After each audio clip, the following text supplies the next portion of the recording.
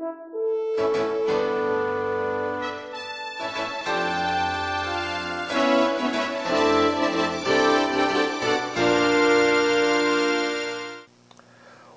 to AGTV and thank you for joining us. I'm Davis Ekasi and today I want to present to you a guest that I have been waiting for to interview.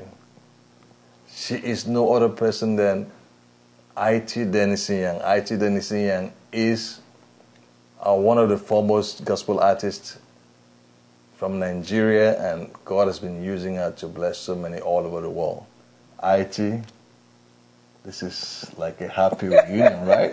yes, it is. You can say that again. For how many years? I can't since, tell so many years. Since, since our days in AKBC. I tell you. You're welcome. thank welcome. you so much. Thank you and so much, thank Dave. you for taking your time out to be with AGTV today. Thank you. It's my big, big pleasure. Wow.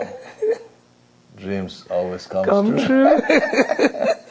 so, Aity, uh, usually uh, I like asking the question, you know, I want our viewers to know a little bit about you. So mm. tell us a bit about you, yourself, and a bit of your background, your vision, your calling, your interest. Let them know who Aity is. okay, my name is Aity Dennis. I'm a gospel artist called by God to sing the songs of Zion, giving hope to the world through the gospel. You know, I've been called to do this for over the years, and but, before I did, I did this. I, I came into gospel music. I used to be a TV producer. I've also been a French teacher some time ago. I also used to work in advertising agency. Then God called me to sing full time. I'm a wife, I'm a pastor, an associate pastor, a mother. What else? All these rolled into one. Are, so this is Aity for you. A bundle of talents. Thank you so much. God has really blessed you, and I'm I'm glad that you have utilized your talent to to be a blessing. It's the grace of you know, God to to the world. And I know you're widely traveled. By God's and, grace. Uh, you have taught several nations. Yes. I don't know all of them. Maybe you might mention, you know, a few of them. A few uh, of you them. Have, you've toured African nations. You've been Yes, here to US uh, several times. So, so what brought you this time? Actually, uh, I live in Nigeria and the US, but I've not been to this part of the US before. Okay. This is my very first time, and I'm so glad to be here. Um, I have something to do with the 700 Club. I'm going on your program in 700 Club. And um, That'll be at Virginia Beach. at Virginia Beach and ministering in a full gospel businessmen in DC and um, some other places out here. I'm glad that you know in all those busy schedules, you, you And right find, here in Warrenton, find time to come to AGTV, in AGTV, Warrenton. live, direct, and in full Wow. color. Actually, it's, it's so wonderful to have you. Thank you. And uh, let's, let's pause and just watch a little clip of her ministry. I'm going to share briefly from this very, very well known passage of the scripture. I'm not coming to give you one epic, shaking revelation that you have not heard. No, I'm coming to do like Peter said, just to remind you of the things you have already already known, and to encourage your faith in the things you have already known, just in case you forgot, or just in case the enemy tried to make you look as if the word of God is not true. I'm going to remind you. Let's go to Acts chapter 16.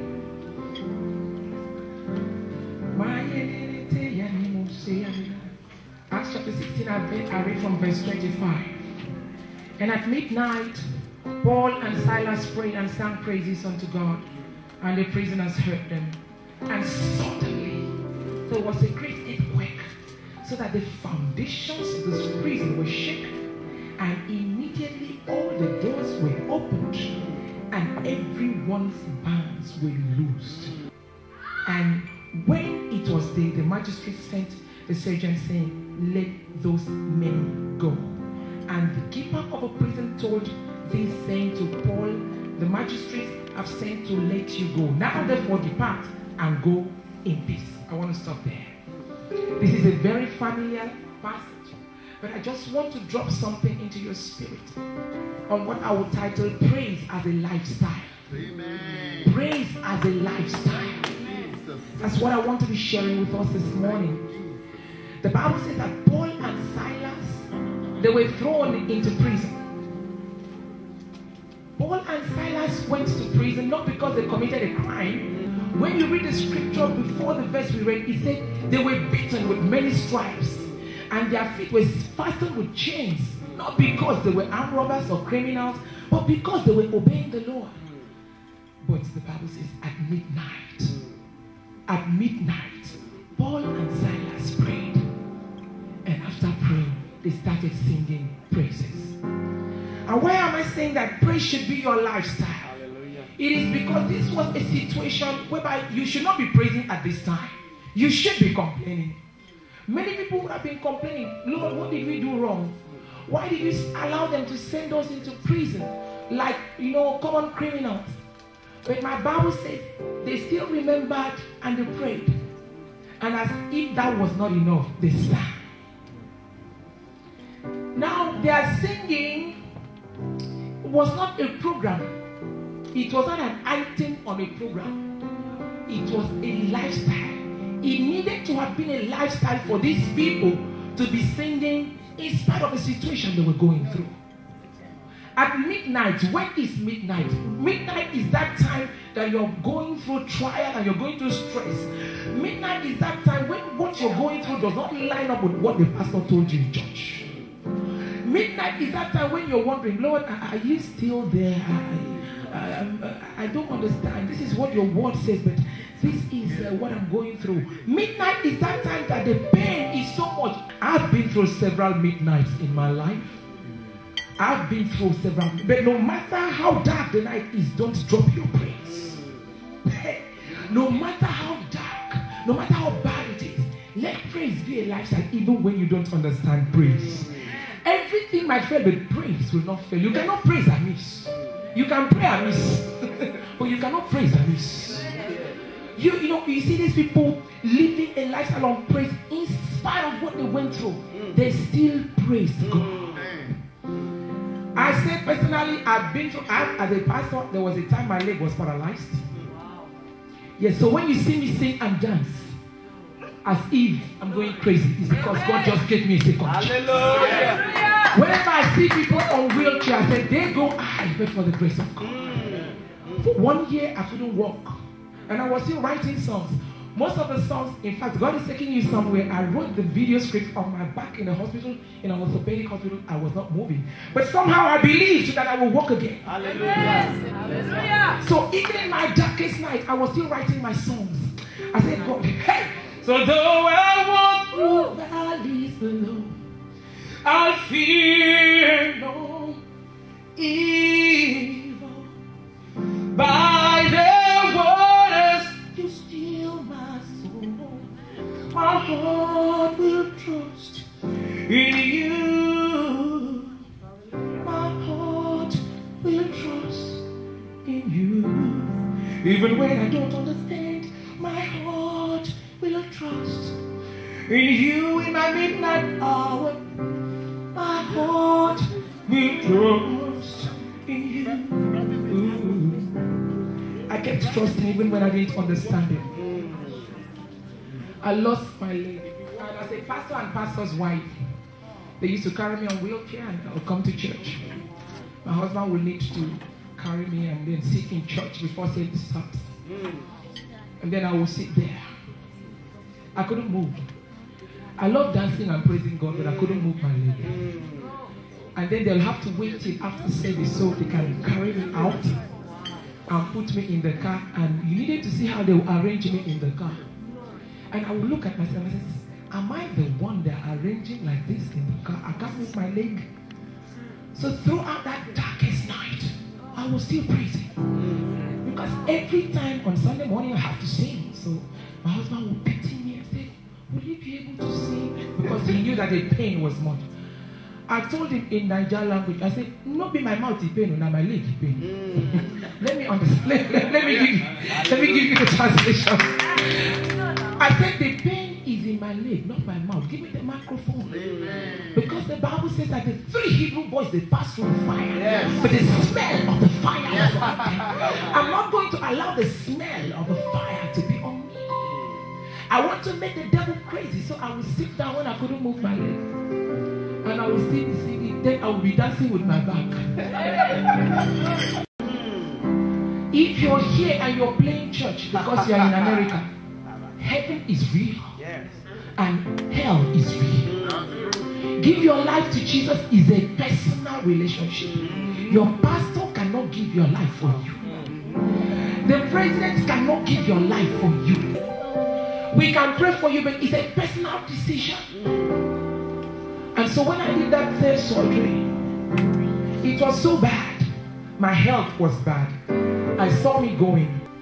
But the Bible says, war a good warfare with the prophecies that have gone ahead of you. And I held on to the word of God that has been given to me several years back. When the Lord sent the word, those days I didn't even understand what he was. He said, You're going to sing around the world. So when I was lying down on that deathbed, I said, God, this does not look like the stage of the world. I know you're going to. Hey, so I'm here today because he kept me. I'm alive today only because of his grace. Oh, he kept me through the storm, through the night. God kept me.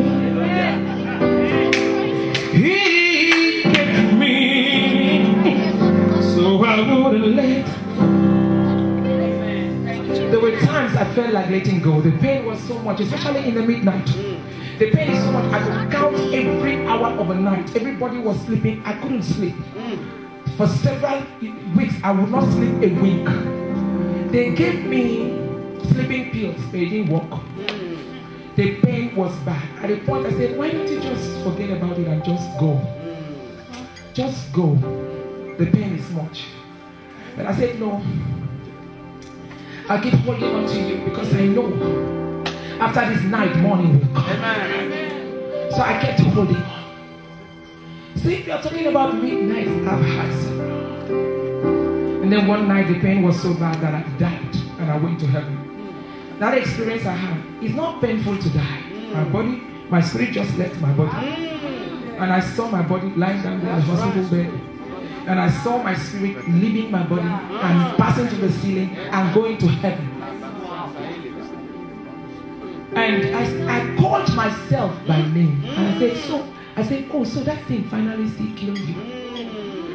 But he came through me.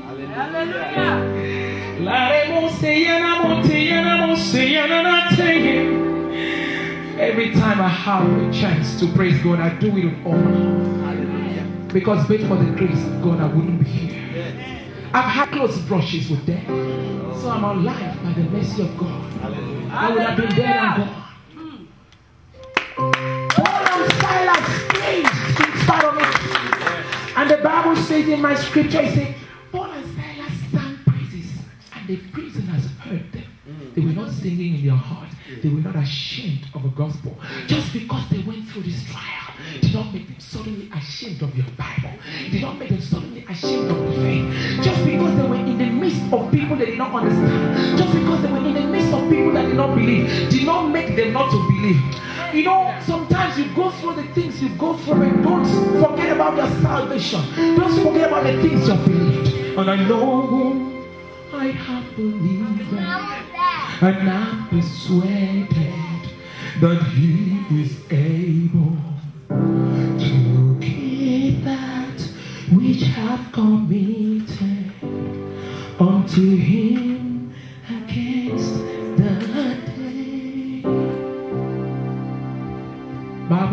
they sang and the prisoners heard them. They didn't sing in their mind. Mm. What are your neighbors hearing? Mm. What are your colleagues in the office hearing? Mm. What are your family members hearing?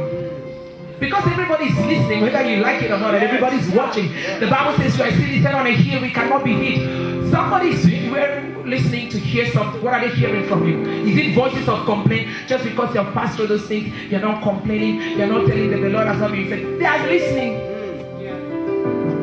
Just because this has happened, you do as if you have dropped your faith. What are your children hearing? When you're going through the fire, what are they hearing? Because they are watching. You are the Bible they are reading. The Bible says Paul and Silas, they, prison has heard. Whatever you're going through, God is going to use it to touch the lives of others. You know, when that Bible says suddenly, suddenly, because there is always a suddenly.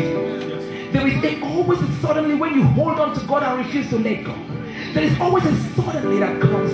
The Bible says suddenly there was earthquake in prison.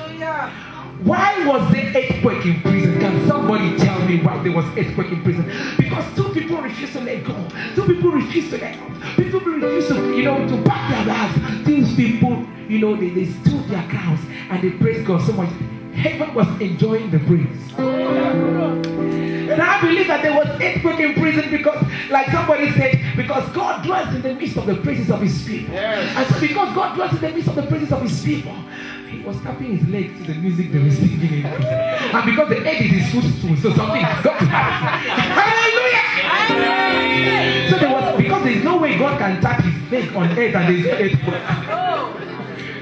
So when heaven is listening, what are they hearing? God said, My people are praising me in spite of their trials. Something has got to happen. Amen. And the earthquake happened and their bands were loosed. Do you know? Sometimes I wonder the reason why God allowed Paul and Silas to be. And it might just have been because of the, the, the, the prisoners, so that they'll be saved, so that they can hear the gospel. It might just have been because of, of the warder in prison was taking care of them. Because at the end of the day, that's where they ended up having dinner, breakfast, full gospel breakfast. With the with the guy that put them in chains. He is the one giving them breakfast and um, preparing a table before them. In the presence of your enemies, God prepares a table before you. There is, you know, everything on the table. There is healing on the table this morning. There is abundance on the table. There is joy on the table. Receive your joy once again. Somebody here, you have lost your joy, you have lost your peace. We call it the Prince of Peace. And when we call you Savior, and when we call you Savior, and when call you by your name. We call him the Prince of Peace, and if you need peace, receive peace. There is peace on the table this morning for you.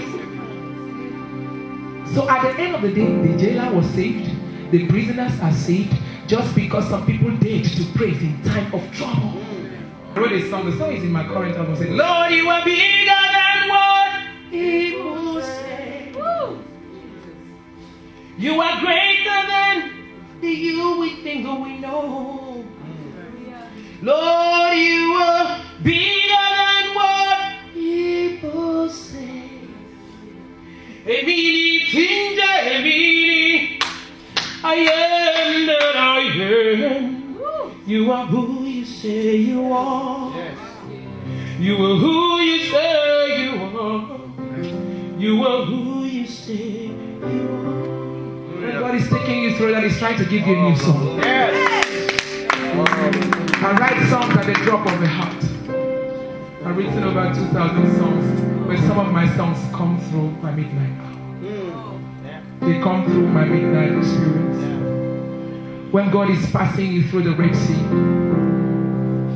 He's trying to give you a song. Hmm. And when He gives you that song, you're not going to rehearse it. Ask Miriam. When Miriam they crossed the Red Sea, they no choir rehearsal. He just busted out. We sing unto the Lord, for He has triumphed gloriously. The horse and his rider have been thrown into the sea. There was no choir rehearsal. It is because when you have gone through, yes, it comes out from your inside. What am I sharing with you this morning? Let praise be your lifestyle. Let your neighbors, when they listen to you, let them hear the sound of praise, not the sound of complaining. When your colleagues listen to you, let it be praise and acknowledging the work of God no matter what you're going through. And heaven will be happy that this is my child. That's my own child. Because I want to tell you, you you're victorious. When I wrote that song, God is taking you somewhere, you get there. God already knows the story of your life and you're victorious. He's already known mm. that you're victorious. Mm. So when you are afraid, he's not afraid. Hallelujah. Hallelujah. I just want you to stand on your feet and give God thanks. Give God thanks. God, you have made me victorious. Let my life bring you praise. Let praise. I'm Koseya Kasena, Well, that was such a powerful ministration. Thank you so much. And uh, believe that our viewers that are watching are also blessed. Those of us that were there live, blessed. Thank and you. It's a pleasure to you know bring this ministry, uh, Aity's unique ministry to you.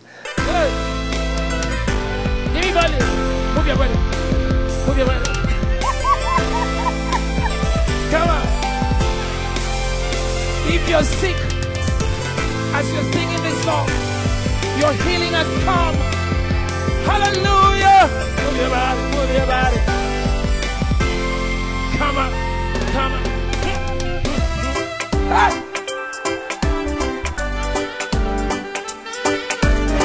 The devil said I will not be able to use my leg anymore. But God said no.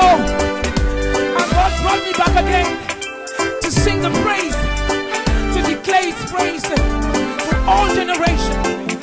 and I shake it to you this morning. Ooh, say.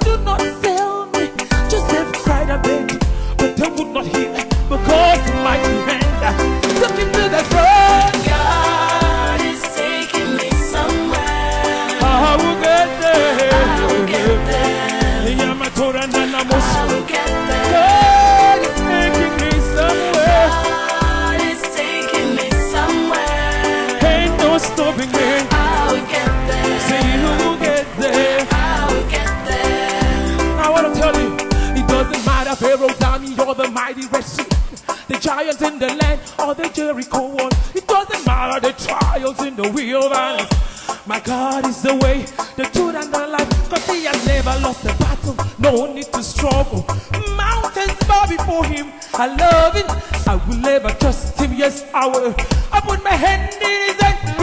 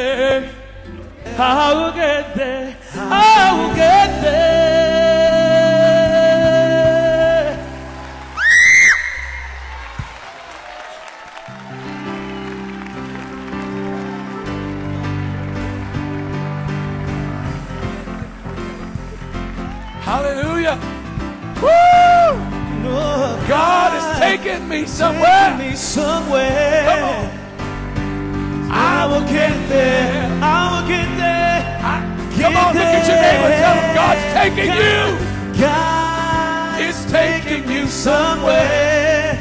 You will get there. You will get there. You will get there. We've come to the end of part one. We'll be wrapping up the interview and presentation with our guest Aity Dennis in part two. If you want to know more about our guest, please use the information on the screen. Write, text, email us, call us, and also let us know how AGTV Ministry is impacting your life.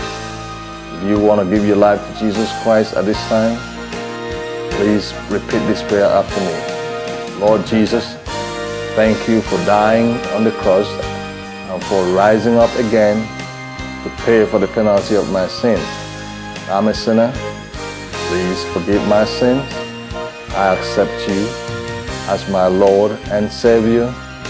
Thank you for saving me. Amen. In the name of Jesus. Amen. Congratulations. You are now a born again child of God. I pray that the Holy Spirit will fill you up and give you the ability to serve the Lord and live a victorious uh, Christian life. Until next time, when we come again with part two of Aity's presentation, may the grace of our Lord Jesus Christ be with you always. Amen.